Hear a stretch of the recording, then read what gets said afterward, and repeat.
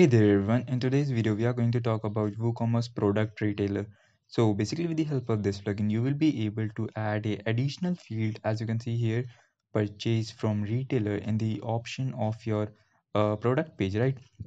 So I'll show you how you can add this particular plugin on your WordPress website. First of all you need to install a WordPress website right and you need to purchase this plugin as you can see I'm on the official website you can uh, buy it from here or you can get it from anywhere else right so I will just come to my website. This is youtube.srmehranclub.com which we usually use for our YouTube tutorial and this is the e-commerce website.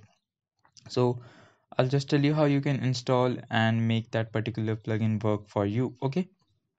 So basically you need to come to your dashboard and I'll tell you what is the basic need of this particular plugin. So if you are affiliated with some kind of retailers right and if you want to add their affiliate link so that uh, customer cannot buy if customer don't want to buy directly from your website and if they go and purchase from the retailer then you will get some affiliate commission from those retailer website right? If you want to add amazon link of this particular shoe that particular customer will be redirected to amazon this particular product link and you will get the commission right? So this is how you can get that particular plugin working okay so let's install that particular plugin. I am here on the back end of my wordpress website.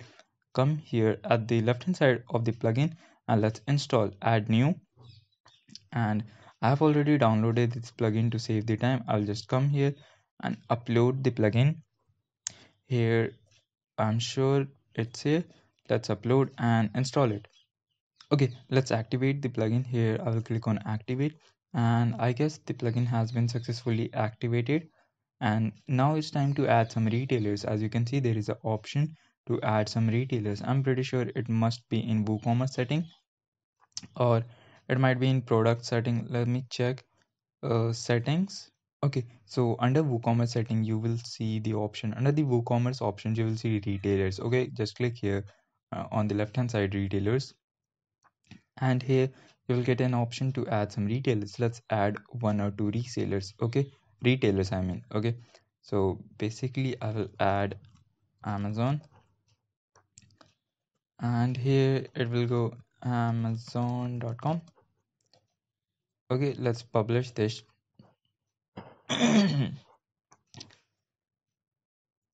as you can see this particular retailer has been added or either you can just add your affiliate link instead of this normal link and I will show you how it works. If you come here and try to upload a single product I'll just try to edit a particular product which has been already added on my website. All products and let's wait. I guess it's still loading. Okay as you can see these are some products which is already uploaded on my website. I will click here on edit so as you can see this product has been opened and let's scroll down and let's see there is an option for retailer or not. As you can see on the left hand side there is option for retailer. Click here retailer and you have to search for the retailer which you just added on your website amazon. And i'm sure here is the retailer and you just need to add the retailer and that's it. Okay so uh, product price you can just add whatever price that is listed on particular website for example if this particular what's the product price? It's here uh, the regular price is 4850 we will add here that on amazon it will cost you around 4000 cool. So people can buy from the direct retail website. Oh so i'll just save this settings update and let's see the product page of this particular product. Okay. If i'm not wrong this has been updated. As you can see product updated let's open the product page of this single product.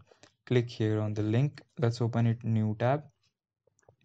As you can see there is a different option just to purchase this particular product from the retailer right? So that you can also add the affiliate link of this product from amazon so that you can get extra commission from your website right? Or even if the customer wants to buy it from your website there is an option to buy from your website. I hope you really get my point what i'm trying to understand so that's it for this video. I hope you really like this video. If you did just give it a big thumbs up and i'll catch you in the next one